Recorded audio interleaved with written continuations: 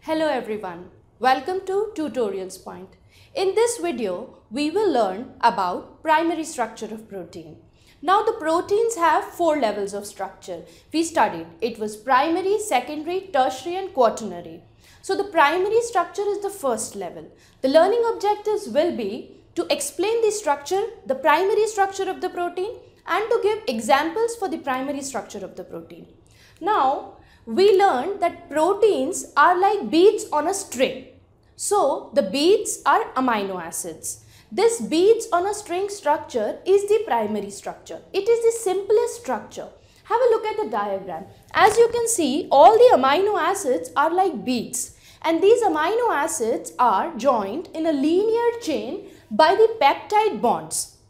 The left hand side.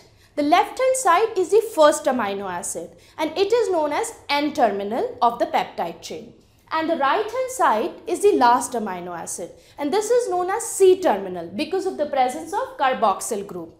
Now as you can see in the diagram, these are the individual amino acids. They are joined together by peptide bond. Now this primary structure shows the sequence of amino acids. So it tells us the exact position of the amino acid. The primary structure has only covalent bonds. Now we learnt earlier that bonding is actually responsible for the structures of the protein. So in case of primary structure, only covalent bonds that is the peptide bond and the disulfide linkage between the cysteine residues is present. Now the primary structure is generally non-functional but there is an exception to it which is insulin. The insulin hormone is functional even in the primary structure. It has 51 amino acids. Now the primary structure is the first stage of protein formation.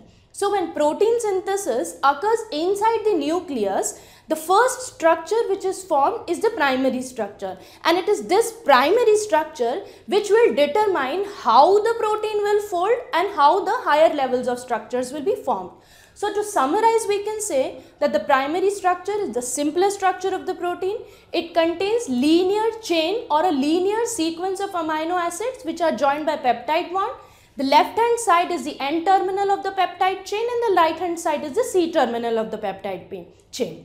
And this primary structure is responsible for higher levels of the structures of the protein. So this is all about primary structure. In next video, we will learn about secondary structure of proteins. Thank you.